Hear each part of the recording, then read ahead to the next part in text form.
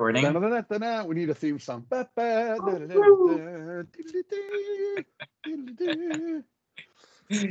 right.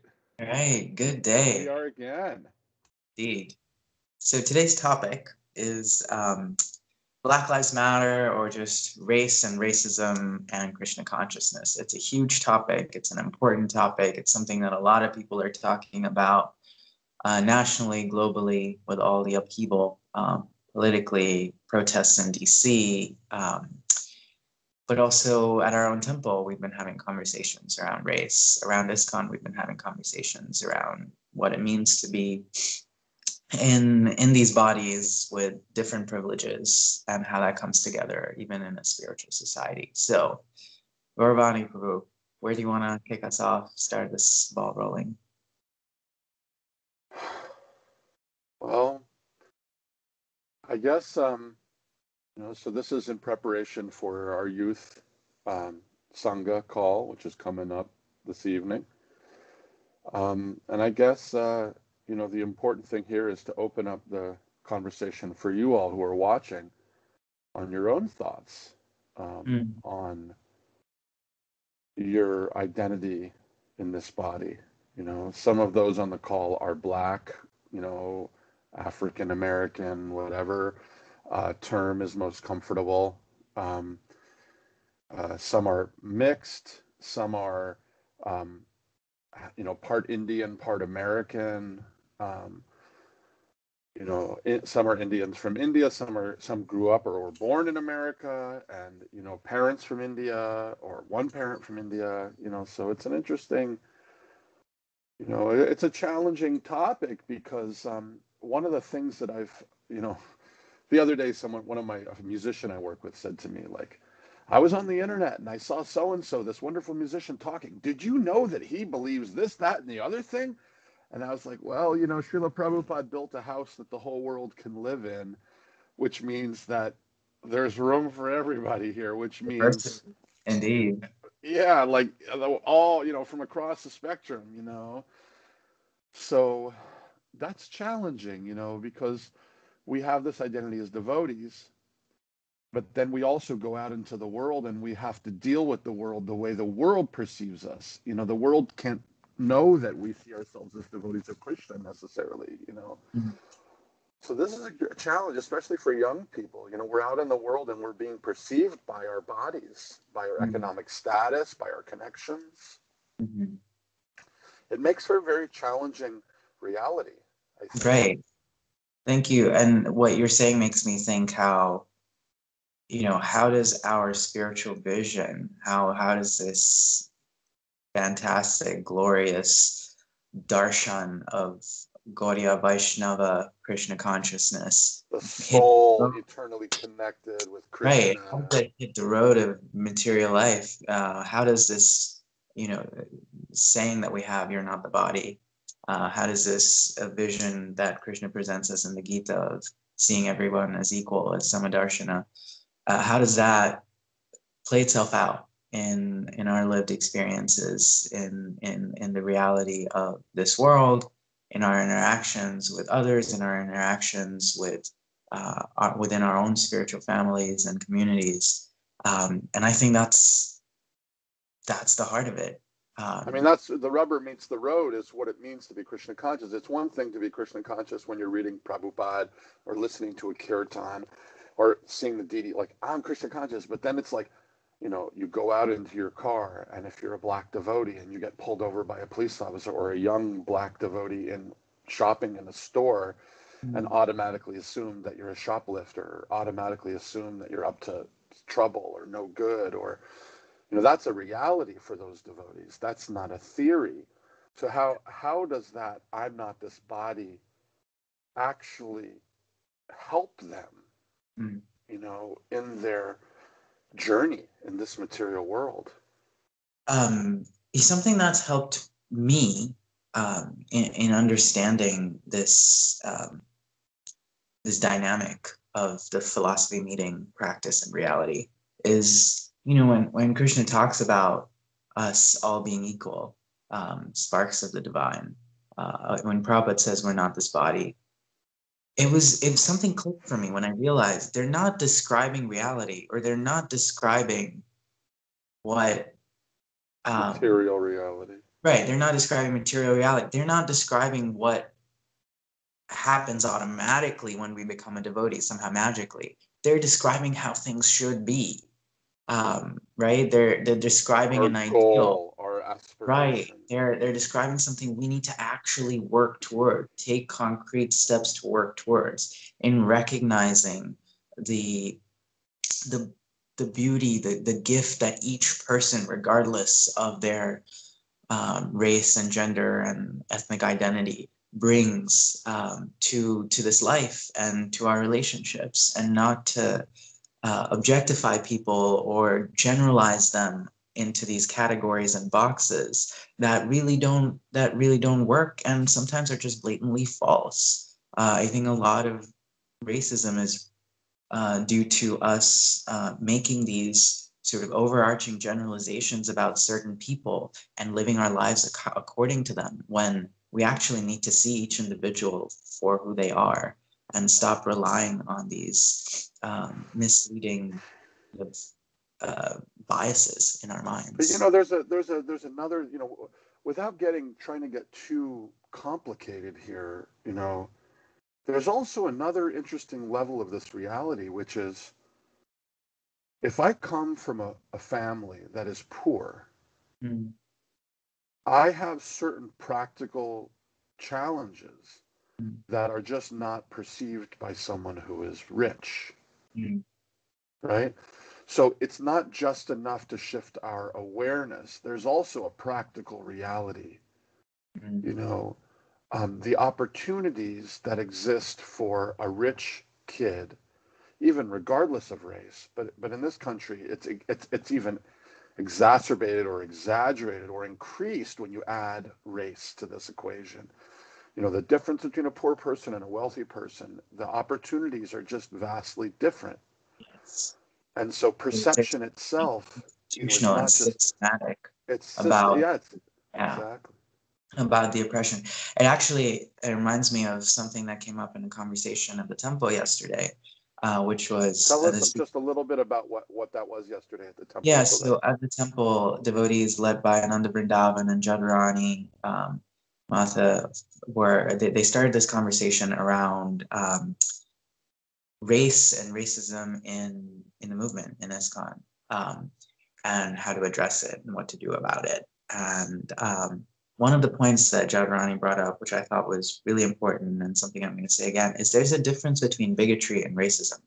And the, the analogy that comes to mind for me is bigotry. I'm a, I'm a bigot if I, you know, walk into a bus and I see someone I don't like and I don't sit next to them simply not because I know them or they've done something to me, but just simply because of the color of their skin or, you know, the language they speak or the clothes they're wearing, right? Um, that, that would be bigotry. But racism would be if I'm part of a system that doesn't allow them to sit on the bus with me or that doesn't allow them to sit in the front of the bus with me and has you know and this is this is what what happened in jim crow right? All people of color had to sit in the back of the bus. There was like a, a section. And um and that that's when it takes these institutionalized systematic system, systemic forms that are so much beyond your average bigot because they wield a power over an individual that is is really really hard to rise above. Right.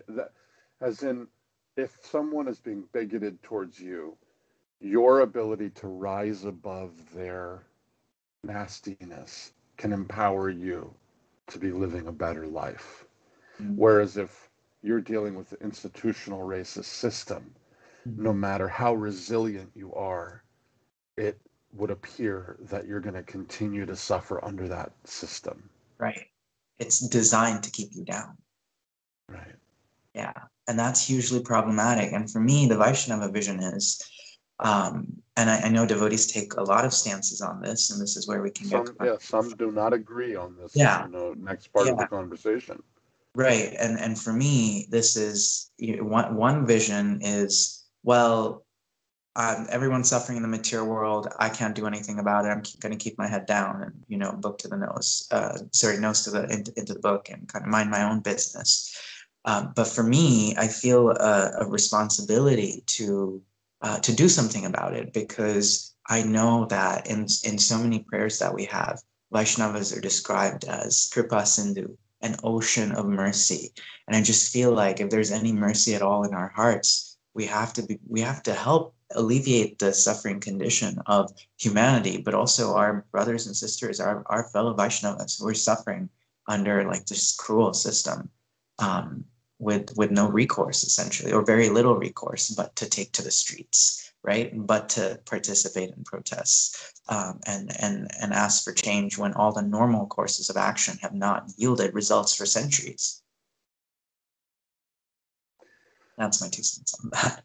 Yeah, it's a very it's it's a you know the, there there does seem to be on on some side for some devotees a hesitation to get involved in anything that feels like it's not spiritual or mm-hmm. something mm-hmm. that feels like it's not connected to directly to serving Krishna or the Shastra or the festival calendar or you know, mm-hmm. Prabhupada's books or something like that. Yeah.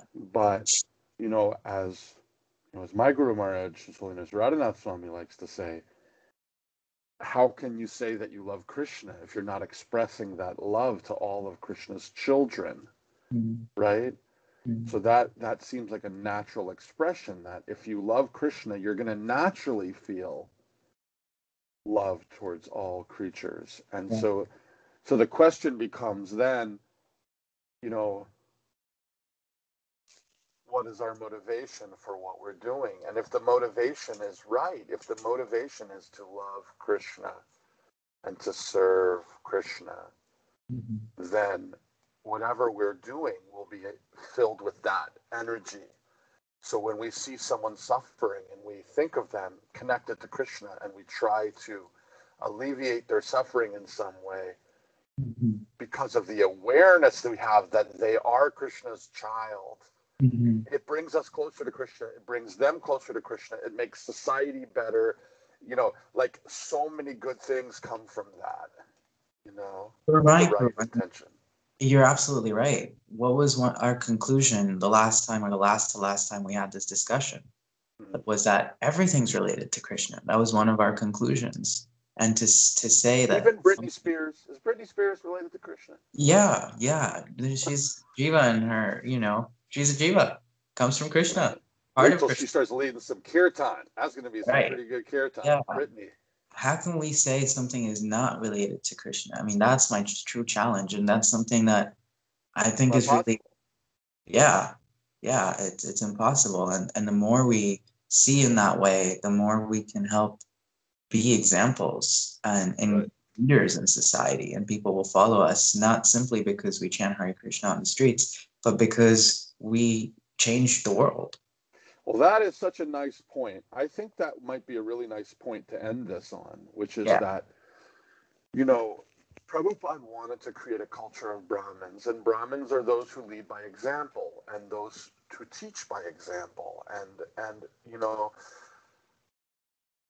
um, how do we expect to actually have an impact if people feel that we're aloof, aloof from their sufferings? So, yeah. in a way, even though we may be spiritually, I mean, I'm not, but theoretically, someone becomes spiritually disattached, unattached from, you know, the difficulties of life and, you know, whatever, they will still express their love because it's through expressing that love and that kripa sindhu, that you know that that you know ocean of kindness, that it it attracts people to want to be better, to mm. want to be more. And if we can't show that in a practical way, then then how can we um, meet people where they are?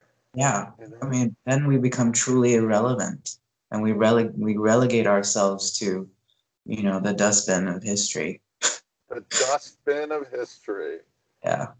Do not want to be in the dustbin of history.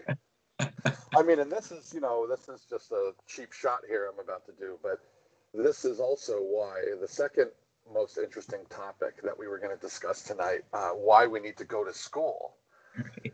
Um, you know, education and awareness help us to connect with uh, knowledge or or realization on a topic, right? So going to school just gives you some of that like initial inspiration, but you know, that is meant to take you to a place of serious inquiry, you Mm, know, actual curiosity, you right. know, The point of learn education. Yeah. Yeah. Great. Well, I hope we haven't gone too long. I know I know our audience likes very brief to Short attention span. Yeah. yeah, but this is great. Um, thank you. Thank you, I think we- at the end of this, we have to turn this into a TikTok to get the kids interested. Oh my God, it's a TikTok video. It's a TikTok video. Do, do, do. Oh my God, we're so lame and old. All right, we love you guys. Thank you for tuning in to another Prem and Gaura show.